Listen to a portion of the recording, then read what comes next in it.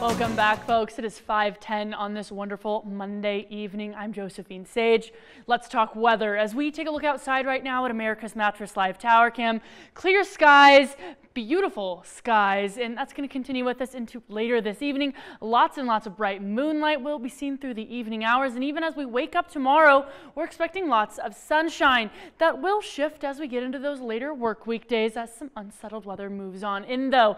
In terms of those weather headlines, we're looking at cold temperatures continuing.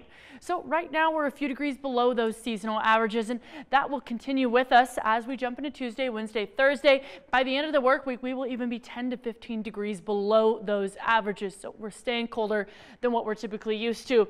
Again, that sunshine will continue with us, but only until the middle of the work week. We do have some southwesternly unsettled weather that's going to start moving on in, giving, well, the upper atmosphere a little bit of a shakeup. So as we take a closer look at how that's going to start moving on in, we do have some high pressure over the western slope right now, but we'll notice cloud coverage moving in as soon as Wednesday morning and through that Four Corners region, we've got single cell storms to kind of move on in specifically kind of over the southern areas, but through Salt Lake City and the Great Basin area, some more moisture moving on in to give us snow right here in the valleys by, well, essentially Tuesday, or excuse me, Thursday, those AM hours. And a little bit closer with our future cast waking up tomorrow, still clear skies, but fast forward uh, late Tuesday night, cloud coverage rolling on in, and that'll continue with us into Wednesday. And by the time we get into Wednesday evening, that's when a little bit of those scattered showers showers will enter the region.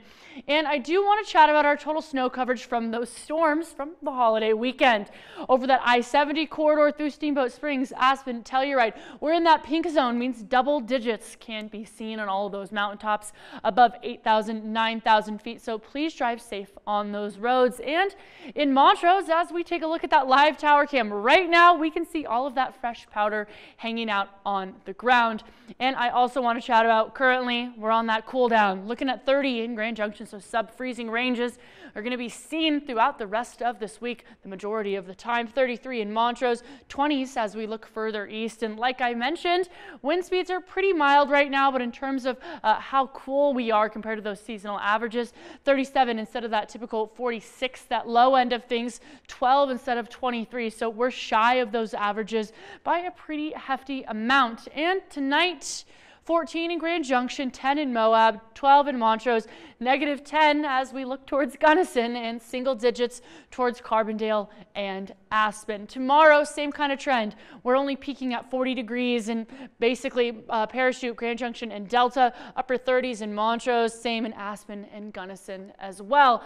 And I did mention that extended forecast and what we're looking towards towards the end of the work week. Discovery Auto Group 7 day will show we're staying around pretty much those same kind of temperatures, but those evening temperatures will continue to stay cold in those teens and 20s.